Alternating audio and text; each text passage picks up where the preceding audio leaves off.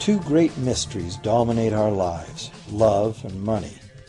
What is love is a question that has been endlessly explored in stories, songs, books, movies, and television. But the same cannot be said about the question, what is money?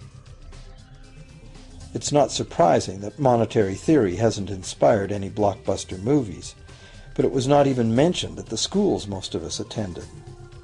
For most of us, the question, where does money come from, brings to mind a picture of the mint printing bills and stamping coins. Money, most of us believe, is created by the government. It's true, but only to a point. Those metal and paper symbols of value we usually think of as money are indeed produced by an agency of the federal government called the Mint. But the vast majority of money is not created by the Mint. It is created in huge amounts every day by private corporations known as banks. Most of us believe that banks lend out money that has been entrusted to them by depositors. Easy to picture, but not the truth. In fact, banks create the money they loan, not from the bank's own earnings, not from the money deposited, but directly from the borrower's promise to repay. The borrower's signature on the loan papers is an obligation to pay the bank the amount of the loan plus interest, or lose the house, the car, whatever asset was pledged as collateral. That's a big commitment from the borrower. What does the same signature require of the bank? the bank gets to conjure into existence the amount of the loan and just write it into the borrower's account.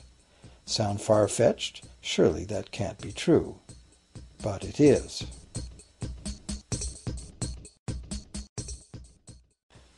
To demonstrate how this miracle of modern banking came about, consider this simple story, the goldsmith's tale. Once upon various times, pretty much anything was used as money. It just had to be portable, and enough people had to have faith that it could later be exchanged for things of real value, like food, clothing, and shelter. Shells, cocoa beans, pretty stones, even feathers have been used as money. Gold and silver were attractive, soft, and easy to work with, so some cultures became expert with these metals. Goldsmiths made trade much easier by casting coins, standardized units of these metals whose weight and purity was certified. Well, to protect his gold, the goldsmith needed a vault, and soon his fellow townsmen were knocking on his door, wanting to rent space to safeguard their own coins and valuables. Before long, the goldsmith was renting every shelf in the vault and earning a small income from his vault rental business.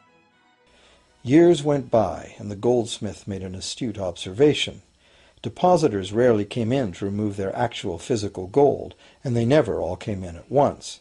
That was because the claim checks the goldsmith had written as receipts for the gold were being traded in the marketplace as if they were the gold itself. This paper money was far more convenient than heavy coins, and amounts could simply be written instead of laboriously counted one by one for each transaction. Meanwhile, the goldsmith had another business. He lent out his gold, charging interest. Well, as convenient claim check money came into acceptance, borrowers began asking for their loans in the form of these claim checks instead of the actual metal. As industry expanded, more and more people asked the goldsmith for loans. This gave the goldsmith an even better idea. He knew that very few of his depositors ever removed their actual gold, so the goldsmith figured he could easily get away with lending out claim checks against his depositors' gold, in addition to his own. As long as the loans were repaid, his depositors would be none the wiser and no worse off. And the goldsmith, now more banker than artisan, would make a far greater profit than he could by lending only his own gold. For years, the goldsmith secretly enjoyed a good income from the interest earned on everybody else's deposits. Now a prominent lender, he grew steadily richer than his fellow townsmen, and he flaunted it. Suspicions grew that he was spending his depositors' money. His depositors got together and threatened withdrawal of their gold if the goldsmith didn't come clean about his new-found wealth. Contrary to what one might expect, this did not turn out to be a disaster for the goldsmith. Despite the duplicity inherent in his scheme, his idea did work. The depositors had not lost anything. Their gold was all safe in the goldsmith's vault. Well, rather than taking back their gold, the depositors demanded that the goldsmith, now their banker, cut them in by paying them a share of the interest. And that was the beginning of banking. The banker paid a low interest rate on deposits of other people's money that he then loaned out at a higher interest. The difference covered the bank's cost of operation and its profit. The logic of this system was simple, and it seemed like a reasonable way to satisfy the demand for credit. However, this is not the way banking works today. Our goldsmith banker was not content with the income remaining after sharing the interest earnings with his depositors, and the demand for credit was growing fast as Europeans spread out across the world. But his loans were limited by the amount of gold his depositors had in his vault. That's when he got an even bolder idea. Since no one but himself knew what was actually in his vaults, he could lend out claim checks on gold that wasn't even there. As long as all the claim check holders didn't come to the vault at the same time and demand real gold, how would anyone find out? This new scheme worked very well, and the banker became enormously wealthy on the interest paid on gold that did not exist. The idea that the banker would just create money out of nothing was too outrageous to believe, so for a long time the thought did not occur to people. But the power to just invent money went to the banker's head, as you can well imagine. In time, the magnitude of the banker's loans and his ostentatious wealth did trigger suspicions once again. Some borrowers started to demand real gold instead of paper representations. Rumors spread. Suddenly, several wealthy depositors showed up to remove their gold. The game was up. A sea of claim check holders flooded the street outside the closed doors of the bank.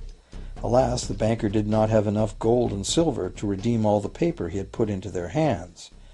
This is called a run on the bank, and it is what every banker dreads.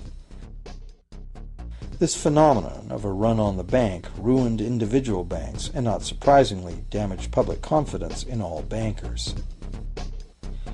It would have been straightforward to outlaw the practice of creating money from nothing. But the large volumes of credit the bankers were offering had become essential to the success of European commercial expansion, so instead the practice was legalized and regulated. Bankers agreed to abide by limits on the amount of fictional loan money that could be lent out. The limit would still be a number much larger than the actual value of gold and silver in the vault. Quite often the ratio was nine fictional dollars to one actual dollar in gold. These regulations were enforced by surprise inspections. It was also arranged that, in the event of a run, central banks would support local banks with emergency infusions of gold. Only if there were runs on a lot of banks simultaneously would the banker's credit bubble burst and the system come crashing down.